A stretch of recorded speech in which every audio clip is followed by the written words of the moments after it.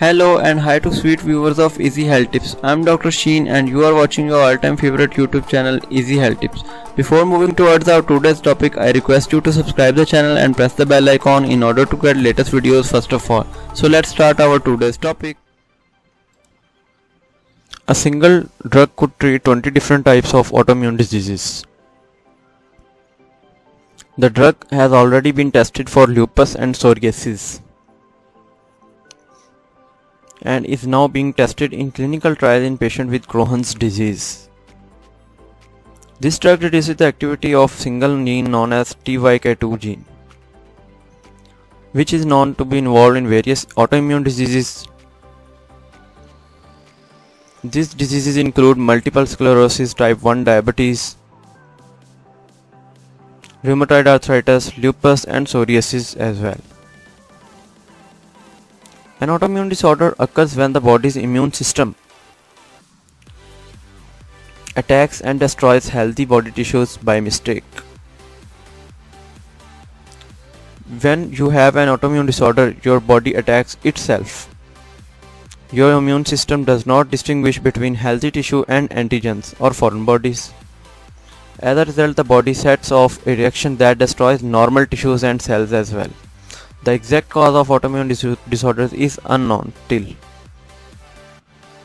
But studies show that a single gene TYK2 is involved in 20 autoimmune diseases. There are many different versions of TYK2 genes among individuals.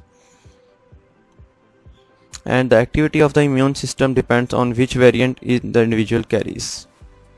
Some of these genes variants protect against the autoimmune diseases as well while other variants overactivate the immune system causing autoimmunity or disease. When researchers tested the drug in mice for treating lupus, the number of attacking immune cells was reduced by 50%, which is marvelous. Lupus causes an inflammation that can affect many different body systems, including your joints, skin, kidneys, blood cells, brain. The drug already showed promising results for treating psoriasis. Psoriasis is a skin disorder that causes skin cells to multiply up to 10 times faster than normal. This makes the skin build up into bumpy red patches covered with white scales. In the study, 75% patients had reduced size of skin lesions. Of these patients, 25% had complete clearance of lesions since TYK2 is involved in other autoimmune disorders as well. The drug could potentially be used to treat these autoimmune diseases, hopefully.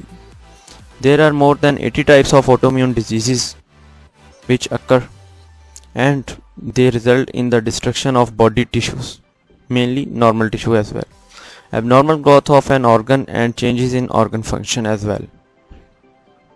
Most of these diseases are long-term illnesses with the severity of symptoms changing over time.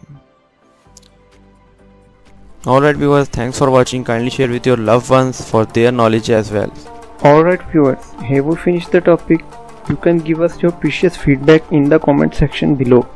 And don't forget to share this video with your fellows. Also subscribe the channel and hit the bell icon to show your love and support. Thank you. We'll be right back tomorrow with a new and interesting video. Till then take care of yourself, your friends and family. Bye bye.